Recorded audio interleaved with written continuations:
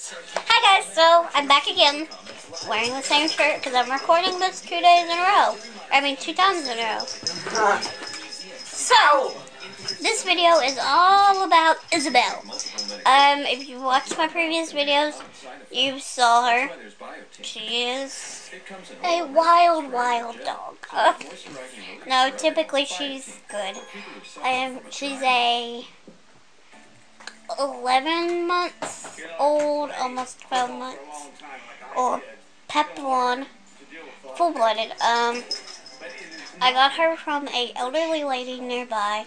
I actually had to travel, what was that, three hours? Four. Four hours to get her. That's near, you know, that's, that's close for me. Especially since no one around here has a Papillon. I had wanted a Papillon since I was a little bitty. I, but as you know, I got my Yorkie, Harley, who I still love and have here. He does not get along with Belly yet, though, because she's in the very, very hyper Papillon puppy stages. She will run and try to bite him often if I allow them to be around each other too long. Um, she loves to aggravate everyone and very hyper, but very sweet too. She gives kisses and loves. She has learned so much since being here. Um, are you joking? Yeah, I'm eating a piece of chicken. Okay. Um, but since I've got her, um, first of all, they said she was named, but she didn't know her name. But I did keep it the same as what they had it. Her full name is Isabella Boo Dyer. Um, she's not registered yet. I'm not sure if I'm actually going to do that because I'm not planning on breeding her. Um, in fact, she's getting fixed.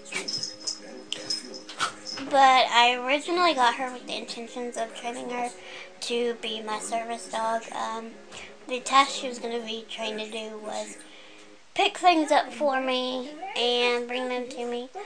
Um, if it wasn't near me, bring it, bring them to me. If I dropped it, pick it up and hand it to me.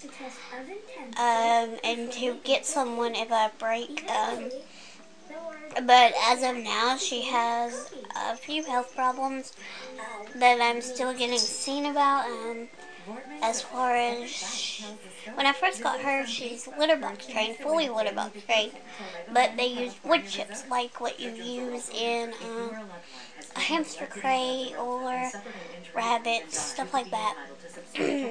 but she ate some a lot, and it made her have a whole lot of stomach issues. The first month of getting her, she was at the vet three, four times. Um, so I definitely had a medical expense there. and she puked a lot, got sick a lot.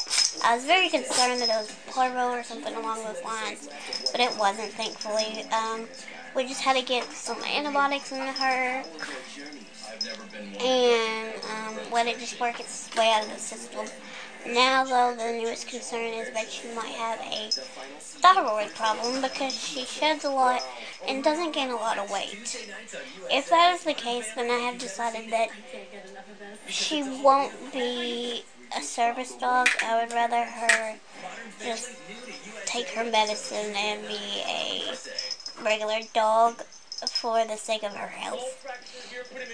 Um, but she is fully up to her dates on her shot. She knows set, way, come, her name, when she chooses to know her name. uh, she knows how to bring you a toy when you ask her. Uh, her favorite toy, though, is a laser pointer. She will chase that thing everywhere. It's under the table. I had to hide it from her. um, but other than that, she's normally a decent dog. Other than the fact I still can't get her leash trained. Anytime we're out in public, she wants to be carried because I think that's how the people I got her from did. So if I set her down on the ground, even on a leash, she'll just look up at me like, pick me up. So we're still working on that if she does become a service dog that will have to be definitely addressed. Um, think that's about it on Bella. I'm excited she'll be one soon. And hopefully out of teething soon. Because right now she chews on everything. if you have any questions about Bella, the Papillon breed, or anything like that, let me know. Um, you'll probably see Bella in more videos because she tends to stick her head in the camera. Alright, bye guys.